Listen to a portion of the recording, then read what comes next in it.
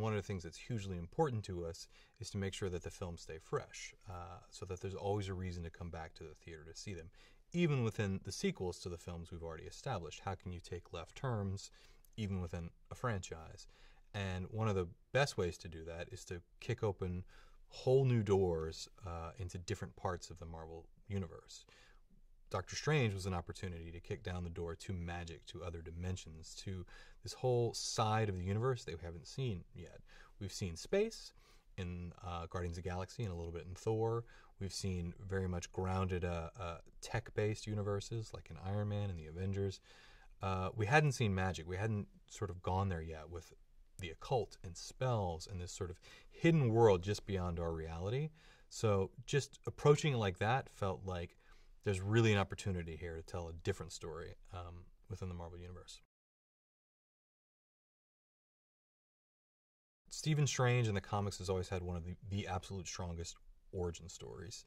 And being how this is a later release for us in the MCU, we did talk seriously about whether or not we should do a straight origin story if the world was ready for more origin stories. And after a lot of soul searching and thought, we decided that to know this character, to understand him, we had to tell the origin story right.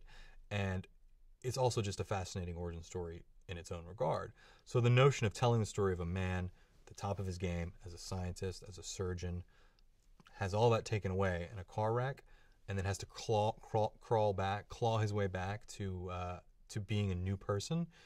That is sort of inherent to the DNA of who Stephen Strange is, going back to his earliest comic incarnations. So we wanted to stick pretty close to that in this version of it. Um, because magic is such a weird world and such a big ask for the audience to buy, we had to go on that journey with Stephen Strange as he discovered all that, just so we could set this whole world up.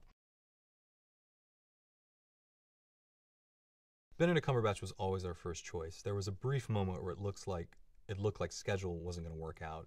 He actually had committed to do Hamlet in London, uh, and as such, it wasn't going to work out. We had a date to make. We had a date we had to start shooting. Uh, uh, the release date was staring us in the face on the calendar, and we sort of parted ways and said, "I, I guess it's not going to work out." We came back to the to we approached him again and said, "How can we make this work? Can we push the release date? Can we do this? Can we start later?" And miraculously, he really wanted to do it. We really wanted him to be in the in the movie, um, and we ended up sliding our release date back about six months to November to accommodate him. Uh, thank thank God, he's perfect to, for this part, and he's a very busy man. So we essentially did Hamlet, which is incredibly physically taxing, for about six weeks I got the chance to see it. It was amazing while I was there in London, and basically wrapped that production and was on a plane with us to Nepal days later. So his schedule was jam packed, and he rolled right into this huge movie, 90 day shoot, right after being in Hamlet. So uh, uh, we're grateful for his work ethic for sure.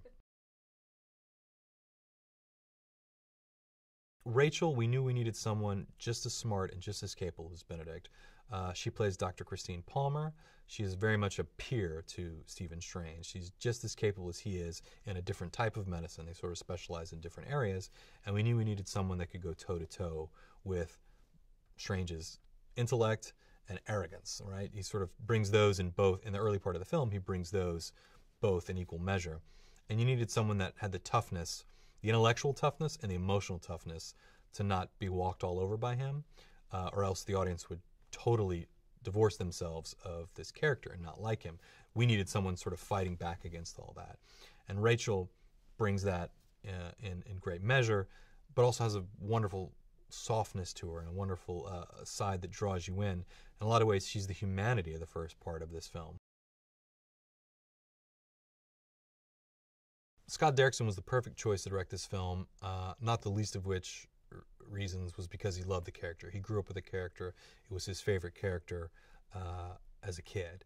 Um, but really, we very quickly, under, in all those early meetings I had with Scott, came to a meeting of the minds. We were we knew the movie we wanted to make, and it was the same film, which is essentially about the journey of a character, right? The journey of a guy who goes from being a hardliner, an empiricist, a scientist who, if he can't see it, smell it, touch it, it doesn't exist, it's not real, who is then forced to have this change of heart and become a man, uh, a man of faith, a man who has to believe in things that necessarily you can't see.